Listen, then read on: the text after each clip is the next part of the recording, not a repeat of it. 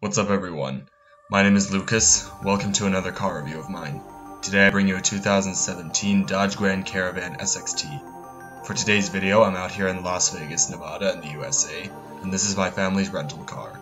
As always I will start it up, show you the engine, and around the interior and exterior, so without further ado, let's go ahead and get started. Here's the key to the Grand Caravan.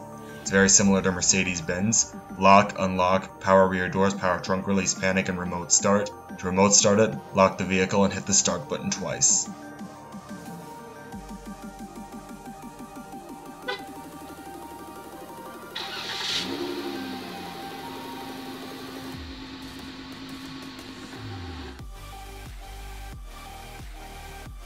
Has a Billet clear coat exterior with a full black leather interior 13,000 miles.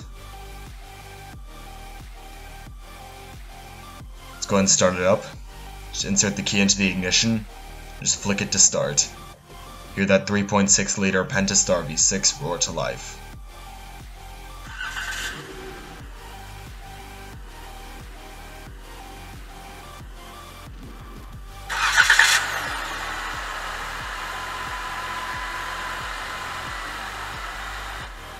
Alright, let's go and turn on the headlights, fog lights, and hazards.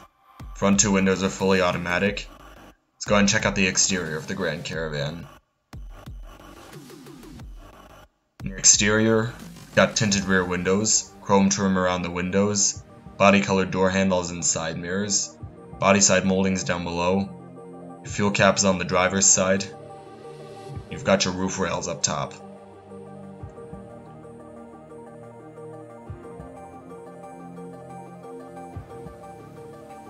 Around back, LED tail lights, third brake light, rear wiper.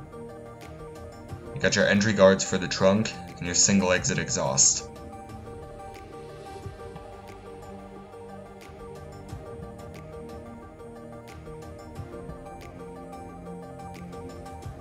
This Grand Caravan rides on Sumitomo Touring LSH tires. They're 225 65 R17s. It's got 17 inch alloy wheels,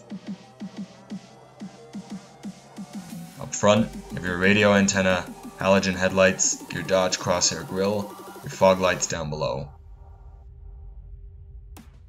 Alright, let's go ahead and pop the hood. Since 2011, Grand Caravan's one and only engine option has been Chrysler's 3.6 liter, dual overhead cams, 24 valves, naturally aspirated V6, which produces 283 horsepower at 6400 RPM and 260 pound-feet of torque at 4400 RPM.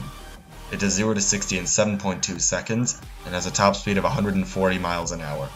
Has a 20 gallon fuel tank and is estimated to get 17 miles per gallon city, 25 highway, and 20 combined. The Grand Caravan is front wheel drive.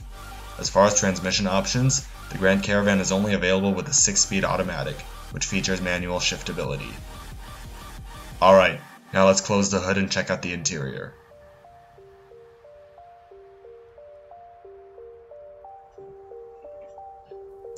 Inside, you got a six-way power driver's seat with two-way lumbar adjustment, and over on the other side a four-way manual passenger seat which misses out on lumbar adjustment.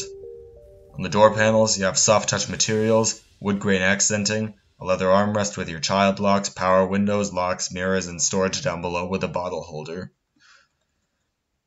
Alright, now let's do a few revs and see how it sounds.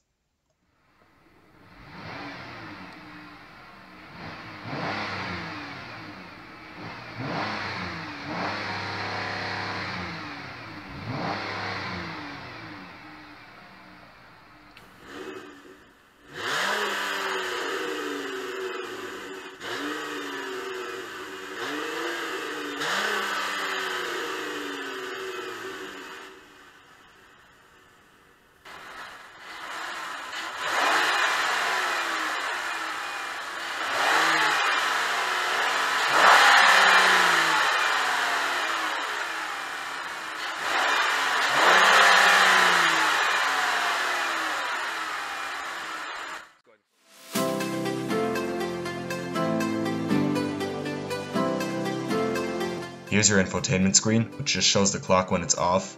Screen has various functions, but it doesn't have everything because this vehicle is just a base model. You have your voice command and Bluetooth phone settings. You can view your radio and media data. And down below that, you have your volume and power knob. On the other side, you've got your load button. Once you press it, the screen actually tilts back, so you can insert a CD or anything like that.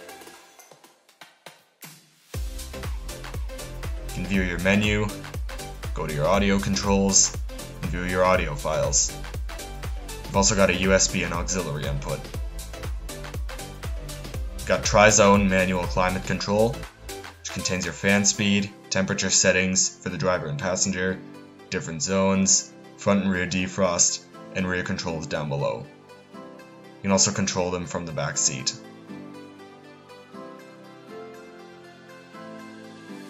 Got your econ mode, hazard switch, traction control, a little more storage down below right here. Right here even a little more storage with two 12 volt power outlets, got some cup holders, a little more storage and coin storage.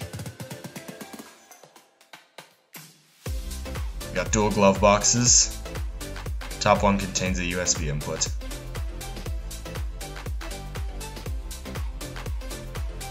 A three-spoke leather-wrapped steering wheel, smooth power steering, voice recognition and Bluetooth phone controls on the left, cruise control settings on the right.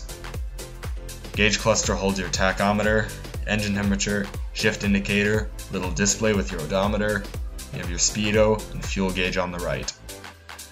Got side curtain airbags, sun visor with vanity mirror, auto dimming rearview mirror, interior lights, sunglass container which doubles as a mirror to keep track of the rear passengers, controls for power rear doors and power trunk, which you can also turn off. Alright, now let's go ahead and check out the back seat.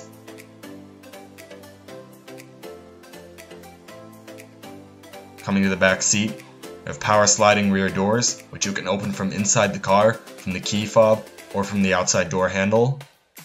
Inside, you can close it from either the handle on the door or that little button.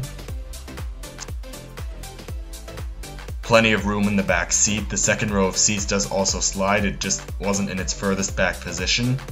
Got your power window controls for the back seat, your bottle holder down below. You have dual seat mat pockets and coat hooks, cup holders in the console below, Right above are your rear climate controls, which contain fan speed, temperature, and different zones. You've also got ceiling mounted air vents, and grip handles for the back. Alright, now let's go and check out the third row of seats. Access the third row, just pull on this handle, seat flips right forward, giving you access to the third row. There is less room back there, but as I said, the seat that I was sitting in wasn't in its furthest back position, you got cup holders, various storage compartments, and that's pretty much it. So now let's go ahead and check out trunk space.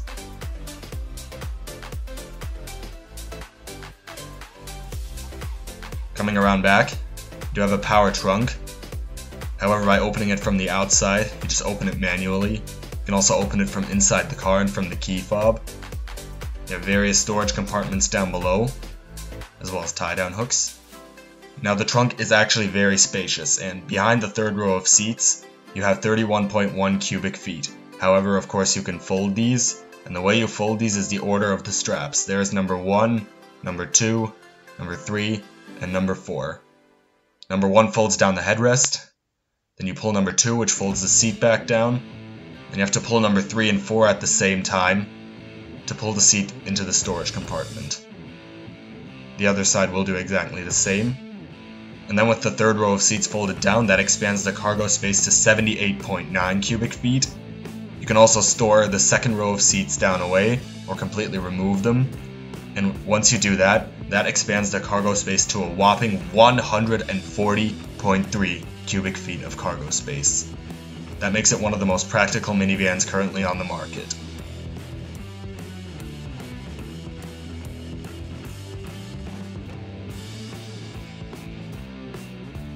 Alright, that's basically it for the car. Let's go ahead and shut it down. Alright, so all of that concludes the review on the 2017 Dodge Grand Caravan SXT. I hope you enjoyed this video. If you did, please leave a like or a comment. Subscribe today if you haven't. Thanks a lot for watching, and I will see you in my next video. Goodbye.